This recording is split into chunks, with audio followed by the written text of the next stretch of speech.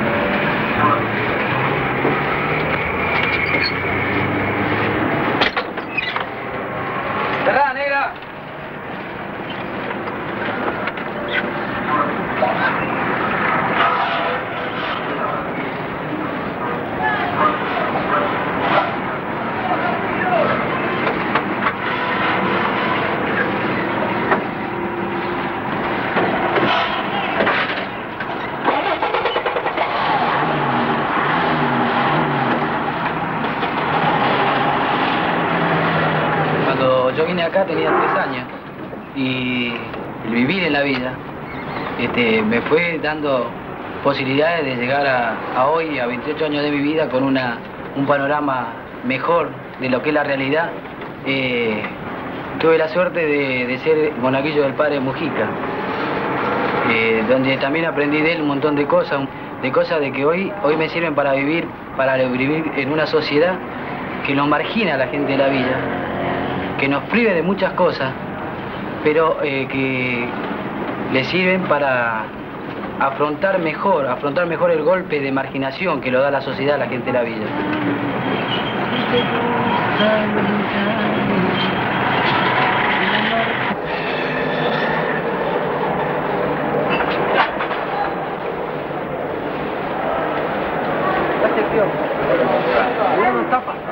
¿Qué pasa acá?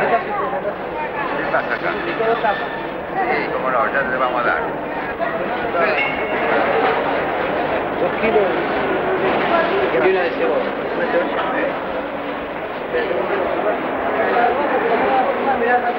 ¿Qué te parece?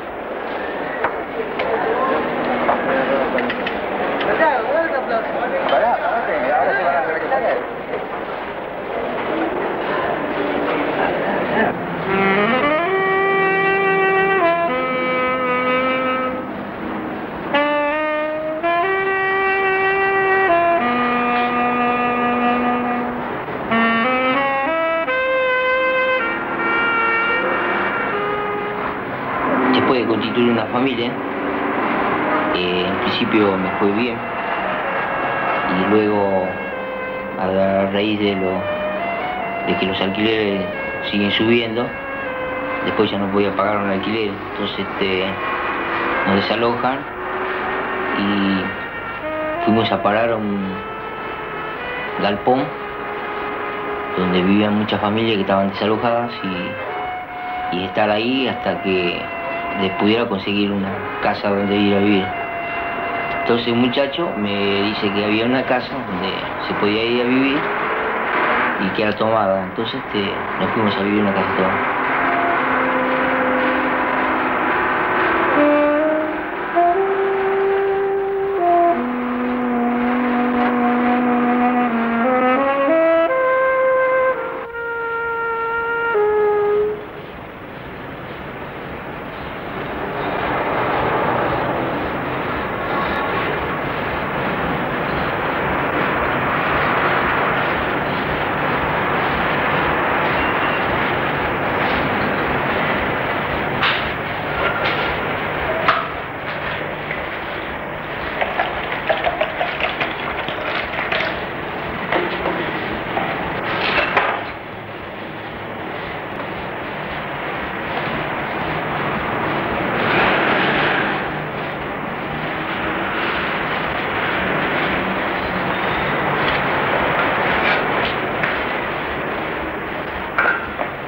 Retiro, llegué este, porque, bueno, nosotros estábamos desalojados y ya nos llegaba la orden de desalojo y teníamos que buscar un lugar a donde irnos.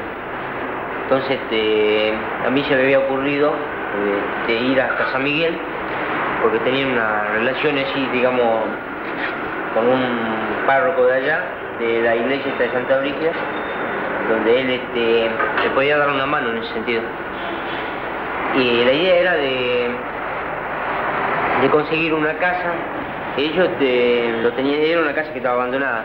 la idea era juntarnos dos o tres familias que estaban desalojadas y llegar este, a un arreglo con ellos para poder este, habitar ahí por un año, dos años, hasta que nosotros pudiéramos ya establecernos definitivamente.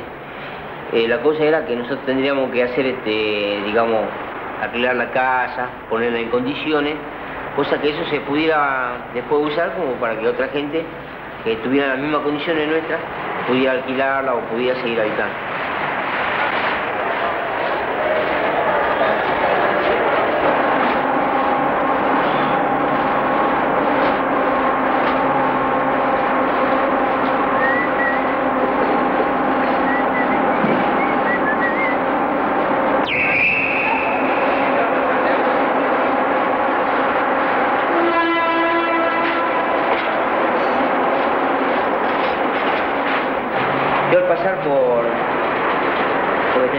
San Miguel, al pasar por la estación vi que en la parte del sector de, de comunicaciones estaban, habían terrenos y casillas de madera que se estaban asentando ahí.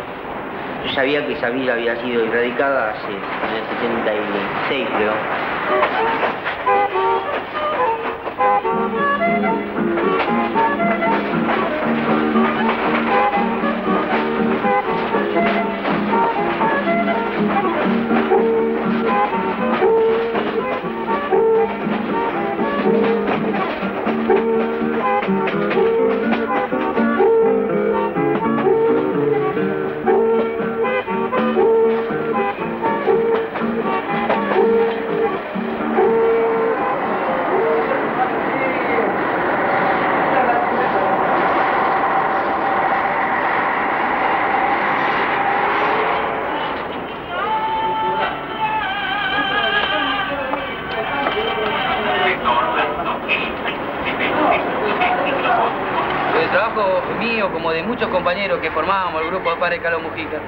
Este, fue un trabajo de pleno apoyo a la, sociedad y de pleno apoyo a la gente de la villa.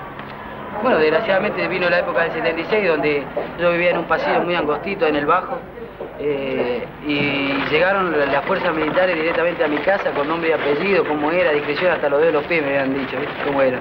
Y me sacaron.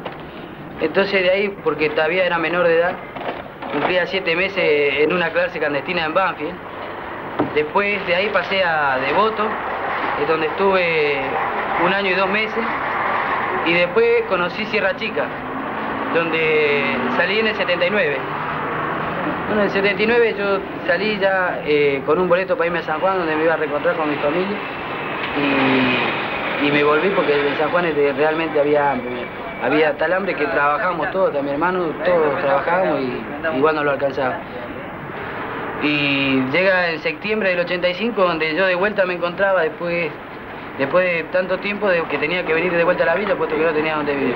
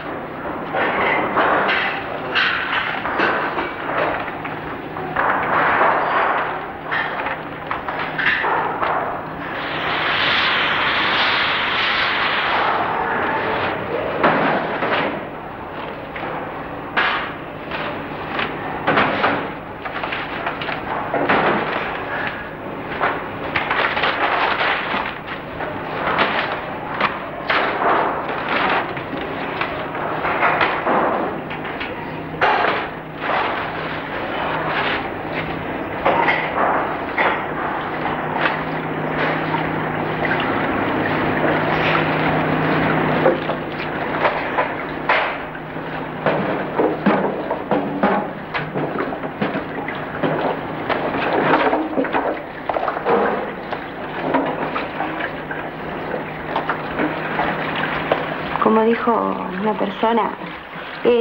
somos intrusos.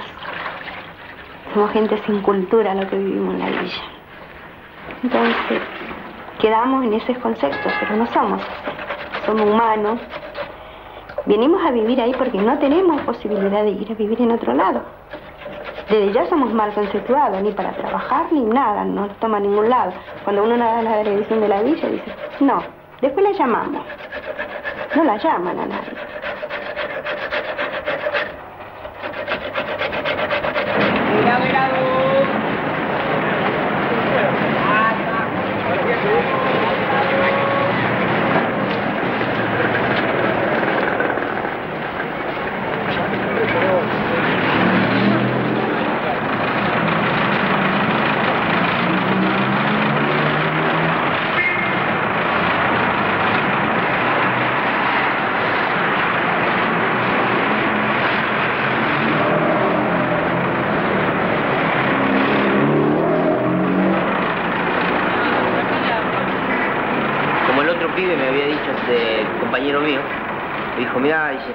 A tener que ir a vivir en las villas, dice, porque para conseguir alquiler no poder. Y aparte que ya se nos viene pronto el desalojo, así que no sabemos qué vamos a hacer. O nos vamos a las villas o no sé, a ir abajo de un puente. Y al, volver yo este, le comunico al compañero, compañero mío que se estaban asentando en, en Retiro y que era un lugar muy bueno, entonces este, hablé con él y decidimos eh, venirnos al otro día a las 6 de la mañana. Yo fui un día sábado. Después tuvimos que quedarnos una semana ahí en retiro porque nos adjudicaron el terreno, entonces teníamos que cuidarlo. Nosotros ya en ese momento empezamos a gestionar para comprar una casilla prefabricada, que era lo más, lo más rápido. Mientras que otros hacían de madera, hacían de, de chapa, de lona, hacían su, lugar, ¿no? Después de quedarnos una semana ahí en el retiro, nosotros este, nos llegaron la, la casilla y después empezamos a hacer la parte de la parte de la base y después ya empezamos a traer los muebles y, y así este, de esa manera llegamos nosotros.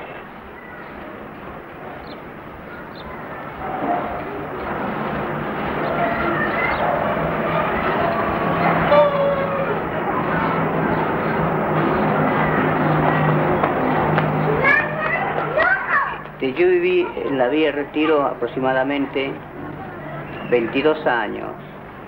Este, soy uno de los habitantes de las 40 familias que resistimos a la erradicación compulsiva del gobierno militar. Y en el, 83 este, hubo un plan de vivienda que se abrió por el medio del FONAVI en el cual yo fui adjudicado, fui una de las familias adjudicadas a la, a la vivienda esta que, que se construyeron acá en el, en el barrio Lía, cuando entra un gobierno, el gobierno constitucional. La erradicación de las villas comienzan a principios del 77 con las principales villas porque era aproximación del mundial y y las villas más cercanas a los estadios, por ejemplo, como era la villa de Barranca Belgrano, y con esa villa empiezan a hacer este, la erradicación compulsiva.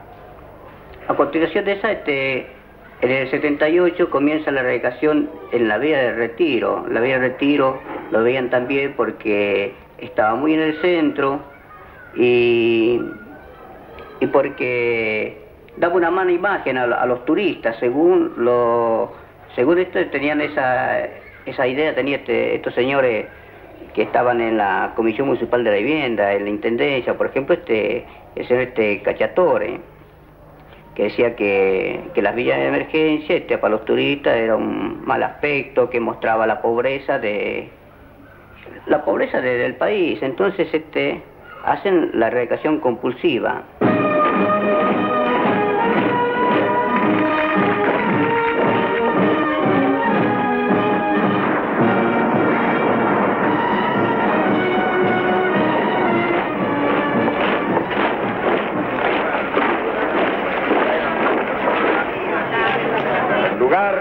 Fecha se repite, como si la voluntad de Dios quisiera demostrar sobre estas tierras de cuánto es capaz el ejército argentino cuando lucha por la libertad, la paz y la justicia para su pueblo.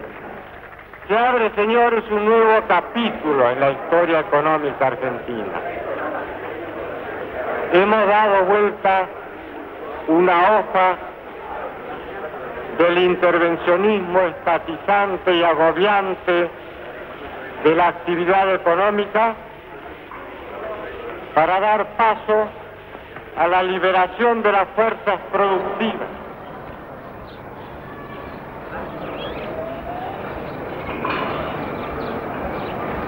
Esta era la villa. Hace nueve años que nos sacaron a todos y nos llevaron a ciertos lugares. Acá, un 18 de, octubre, nos, Vinieron, nos pusieron unos números y nos sacaron. Yo fui la última que salí de acá. Acá había la iglesia, acá tuvimos el club, la escuela, la guardería, tuvimos el dispensario. Esto lo hicimos con mucho esfuerzo. Acá empezamos con la manzana 1, donde yo vivía. Cuando nos sacaron todo, tenías mis vecinos, mis mejores vidas que pasé, mis 24 años.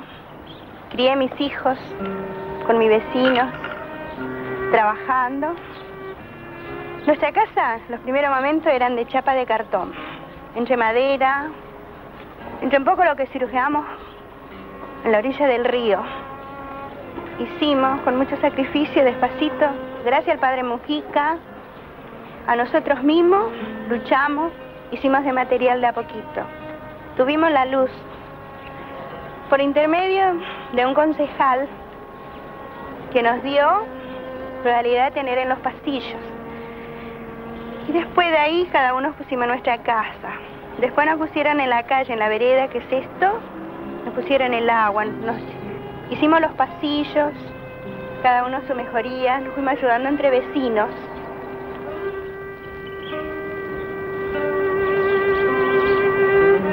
Yo me crié acá en la villa al lado de mi mamá, por ejemplo, que fue tuvo participación en lo que era la comisión de madre, de dirigentes que querían, viste, lo mejor para el barrio, lo mejor para la villa, así. Uno se va haciendo, viste, se va criando con, con esa gana de, de, también ser, viste, no un dirigente, sino una persona que luche por donde vive. Porque al luchar por donde uno vive, está luchando por donde viven todos. O sea, el barrio de la Villa de Retiro. La mejoría para todo. Acá el agua era para todo, no era para uno solo. La luz era para todo. Y en la Villa de Retiro se toma más, este, se toma como una de las villas, este, que más organizada, este, entonces esa tiene conciencia del gobierno militar, que ya tenía conocimiento de que en esa villa este, vivía el padre Mujica, él fue este, el líder de, las organizaciones villeras, entonces quizás por un remordimiento o algo que ellos sentían a la clase trabajadora, tratan de erradicar esa villa más por su organización.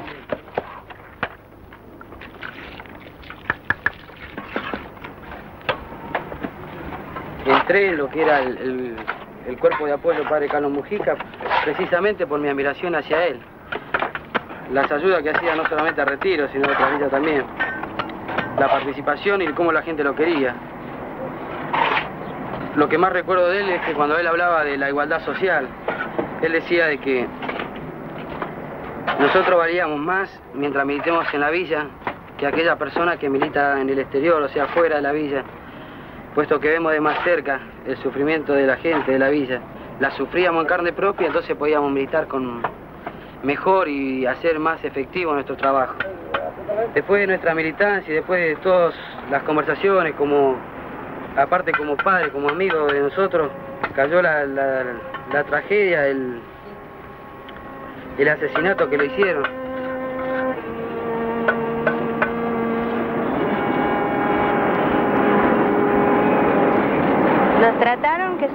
Unos intrusos, la gente del Bajo Belgrano, que hemos tomado por tomar esto que no es nuestro, nos trataron de animal, de gente sin, sin tener cultura parece un poco imposible que nos hemos, eh, no, no han tratado en esas maneras a nosotros. Entonces, yo fui un poco atrevida. Le he dicho a esa persona que él no quiere, asumimos ciudadanos, asumimos chicos del país que están tirando a los chicos a la calle, no a nosotros, sino a los chicos. No han robado. Las mismas gente que nos llevaban los camiones nos robaron. Los, pocos que tenemos, que garrafas, que... Los mejores que teníamos se sacaban ellos y nos hacían cargo. Bueno, nos teníamos que callar la boca porque estuvimos en el tiempo de los militares. Hicieron lo que hicieron ellos lo que ellos le parecía. En la escuelita nos robaron totalmente. Totalmente que hasta hoy en día no podemos saber nada. Y esto un poco dolorido porque todos teníamos las casas de materiales. A las 4 de la mañana le tiraban las casas, que ellos venían a las 9, a las 10, como a las 11. ¿Se imagina tener todas las cosas acá en la calle, como si fuera pedir limona? Está bien que eso no es nuestro, pero no era para tanto. Con mucho dolor nos tuvimos que ir del Bajo Belgrano.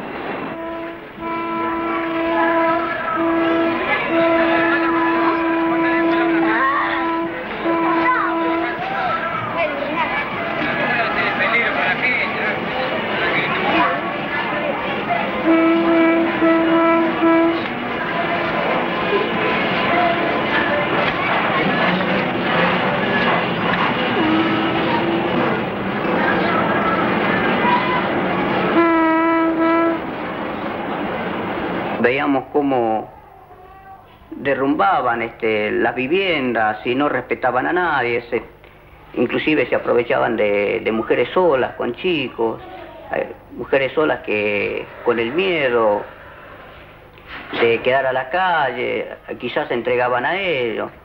Y así este, el abuso era tremendamente espantoso, donde los demás este, habitantes tratamos de organizarlos dentro de la villa de retiro, formando comisiones, tratando de buscar un, recurso de amparo, poder parar a este fenómeno que, venía arrasando sin, sin consideración alguna, eh, no tenían este, consideración a nadie.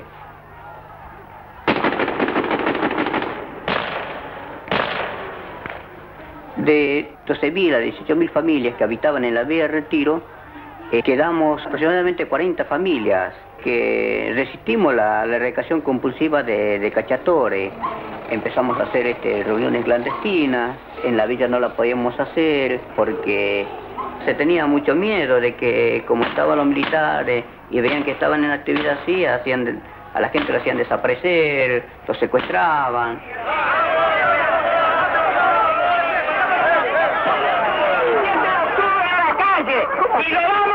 la calle. Cueste lo que cueste A partir de ahí tenemos este, contactos y con gente que encabezaba las villas de emergencia, las distintas villas y con los curas, los curas villeros, en la cual este, Mujica había formado un equipo pastoral, entonces conocíamos a, esa, a esos curas y de ahí donde en reuniones así surge la comisión de demandantes. La comisión de demandantes es la esa organización que trata de hacerle un juicio a Cachatore por incumplimiento de una ordenanza municipal, porque Cachatore antes de radicar las villas sacó una ordenanza en la cual dice que debe, debe este, para poder radicarlo debemos acceder a una vivienda digna y decorosa.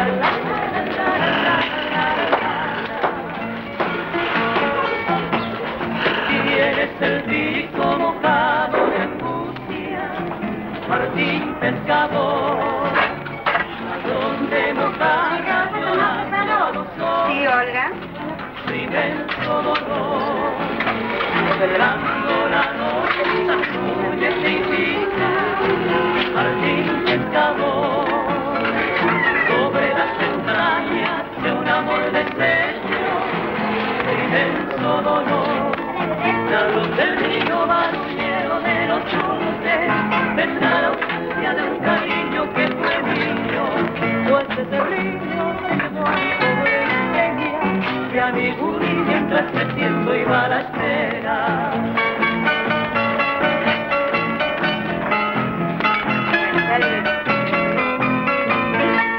Para, pa, para, para, para, para, para, la, la, la, la, la, la, la, la, la, la, la.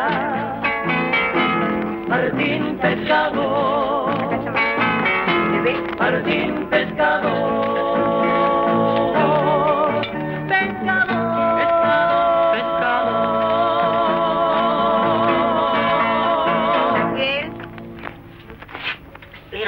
Coca-Cola para la criatura? Abrilo.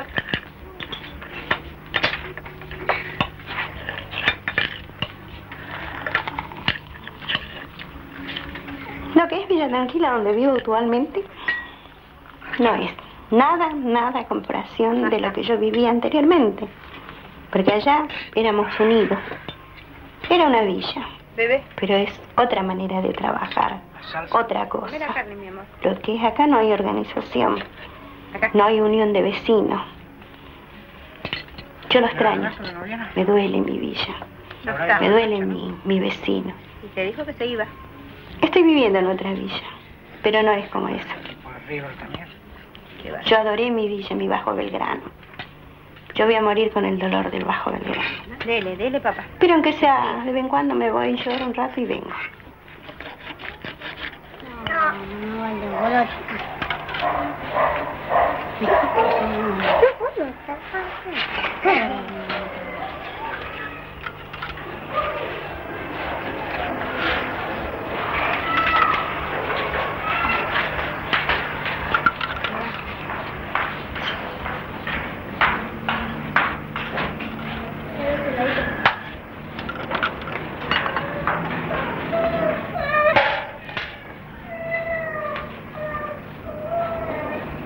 Yo estoy trabajando en el puerto como peón estibador. Hace 11 años aproximadamente que trabajo allí. Eh, en estos últimos años la situación en el puerto es muy crítica a consecuencia de la falta de trabajo. Ahí somos 5.000 y tantos de estibadores y, y hay solamente trabajo para 2.000, 2.500 cuando por día en las contrataciones. Entonces, a la hora de la contratación es muy desesperante ahí.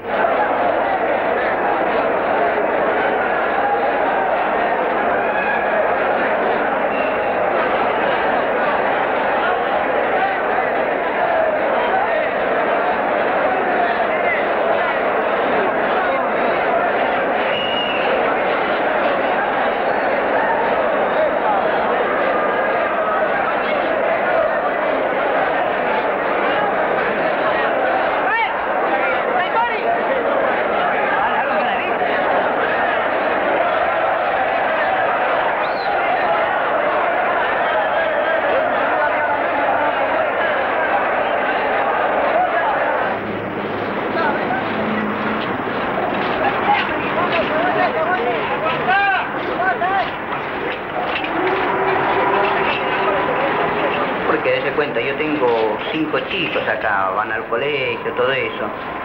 Y tengo que pagar la vivienda, tengo que pagar el gas y después alumbrado, todo eso, no sé, este, con ese dinero que yo gano este, mensualmente ahí dentro del puerto, este, me veo que en la posibilidad de que no, no sé si podré seguir subviviendo o mantener, o pudiendo mantener esta vivienda. Entonces es así como dentro de la casa mi señora me ayuda acá, este, va llenando este, estos cubitos de helado, con la venta de eso es más o menos que estamos alimentando a los chicos, ¿no? Este, es una ayuda más en la fuente de trabajo.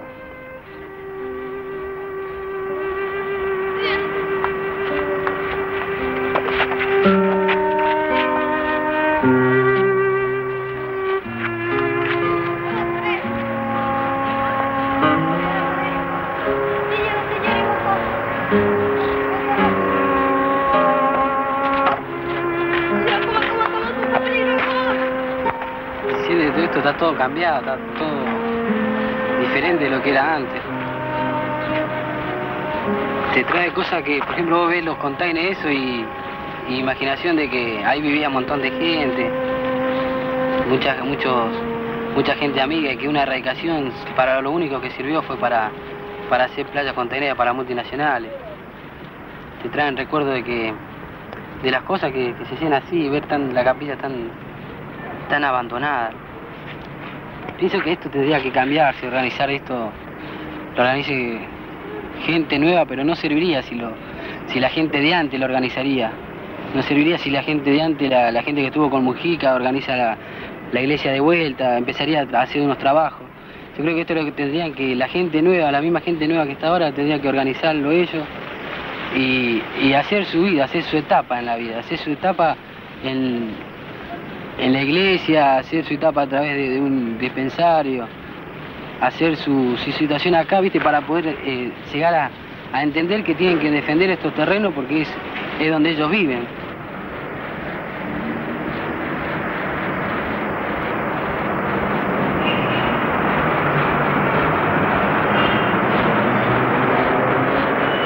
Bueno, nosotros teníamos un poco de experiencia de, de formación de cooperativas. Sabíamos que era tierra fiscal y que al hacer cooperativas podíamos llegar en algún momento a tener un acuerdo con el gobierno para, para que nos venda la tierra y, y hacer un plan de vivienda. Y ahora sí seguimos trabajando ahora con más, este, con más esfuerzo porque sabemos que hay una ordenanza municipal en la cual no- un poco nos ampara de, una futura erradicación ahí. Y estamos, eh, estamos peleando por la tierra porque queremos ser adjudicados.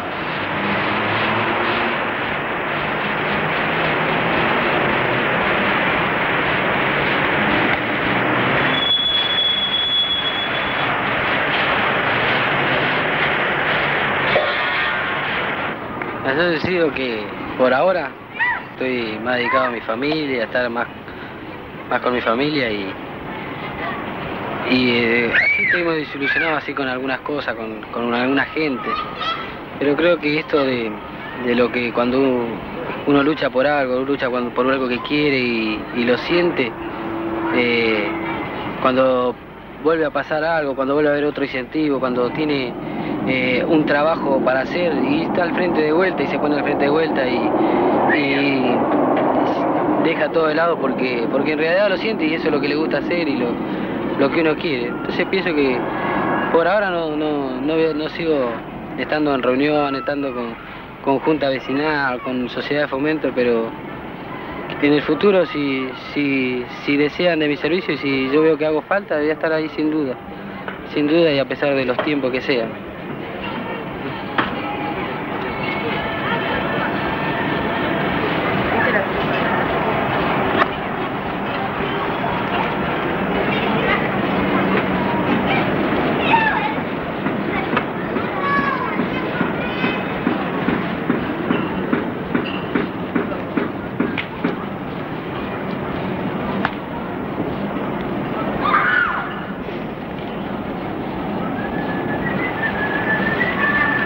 ¡Hey! ¿Quién es mano? Sí, ahora soy yo. Él, él es Manuel. Sí, ahora soy yo, mano.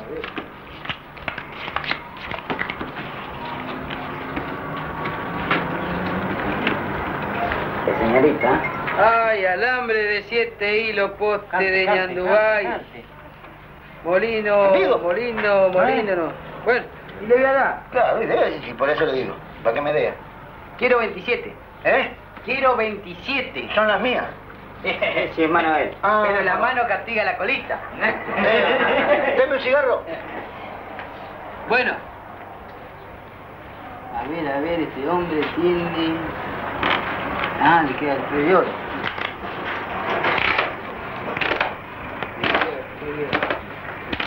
Bueno, Tuco. quiero el tres de oro. ¿Eh? Quiero el tres de oro. Que lo sean para la cocina, quiere usted. Ah, pero no, eh, viejo, Eh, no va. eh, eh, eh, Ah, eh. Bueno, dos por dos. No, Dos por dos. Sí, no le gané el envío con 27. Dos. Ah, cierto. Pero por dos. Dale, vamos, vamos la cabeza. Dale. Mueva la cabeza, vamos. Vamos. Dale. Acá está la cabeza, acá, acá arriba de la mesa la cabeza. acá, la costó. Vamos, miren cómo vamos, ahí te apuntando. 5 Dale. 1. 5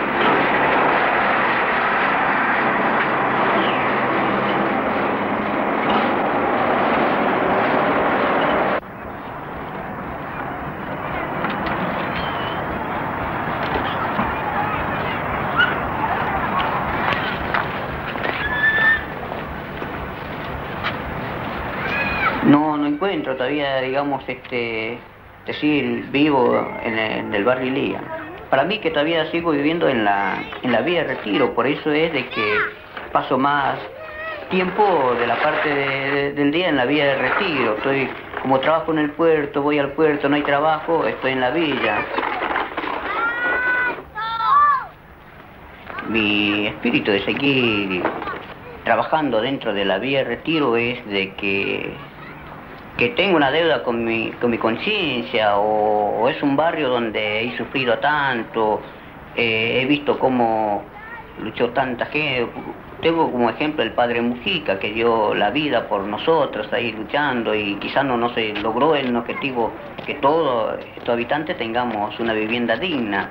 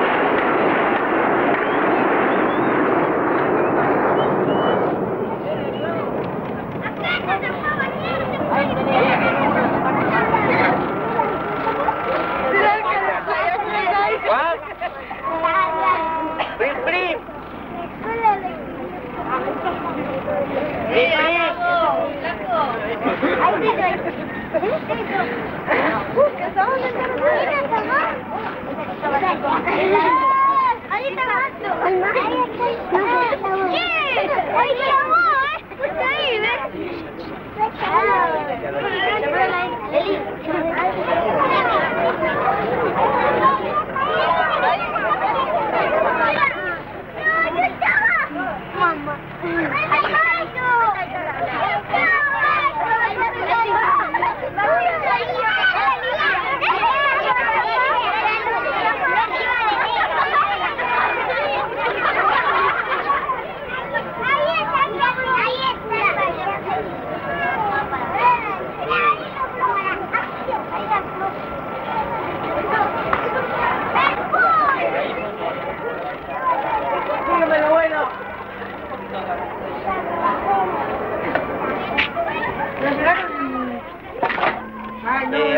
este cuaderno? ¡Ay! ¡No! ¡No! ¡No! ¡Otro más! ¡No! ¡No!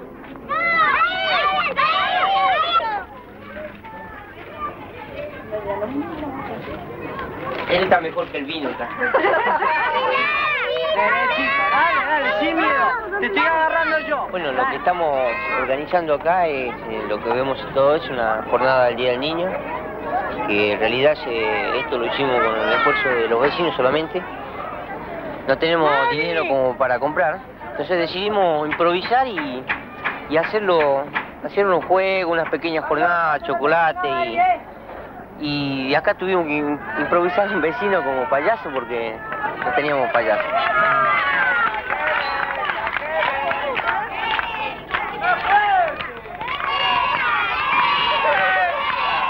Y nosotros tenemos que pensar en el futuro. Acá hay muchas familias que tienen chicos.